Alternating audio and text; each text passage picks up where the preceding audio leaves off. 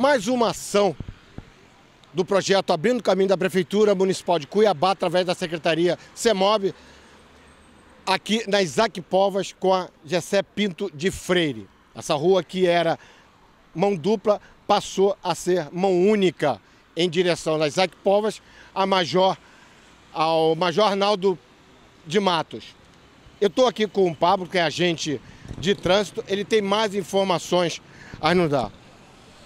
Bom dia. Bom dia. Pablo, essa rua aqui é mais uma ação do Abrindo os Caminhos, Novos Caminhos. Daqui vamos para o Jardim Guanabara, que vai ser a próxima ação. Como é que ficou essa situação aqui da rua José Pinto de Freire com a Isaac Povas? É, bom dia.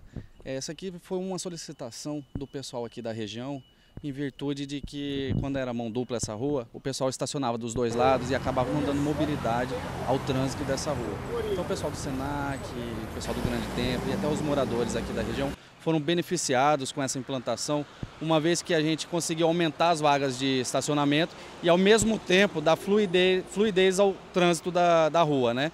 E aí ela acabou sendo um, um, binário com a Comandante Costa, com a Marechal, visto que elas também são sentidos é, únicos. Então você consegue fazer as conversões e transitar pela região com maior é, segurança e com maior fluidez.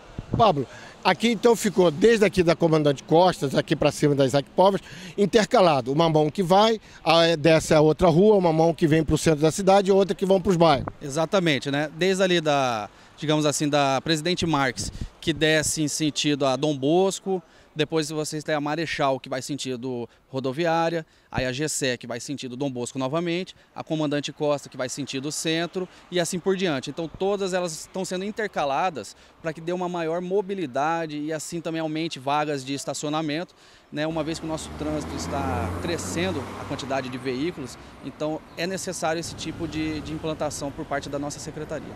Os agentes vão estar aqui na GSE para orientar. Até quando vai ter a, a orientação?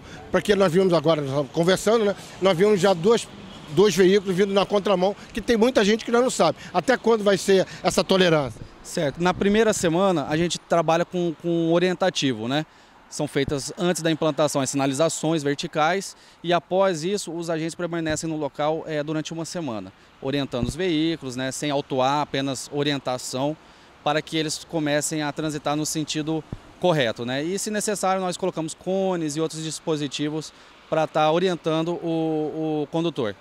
Como eu já falei, a próxima ação vai ser no Jardim Guanabara. E aqui no Centro-Sul, vai ter outra mudança viária binária?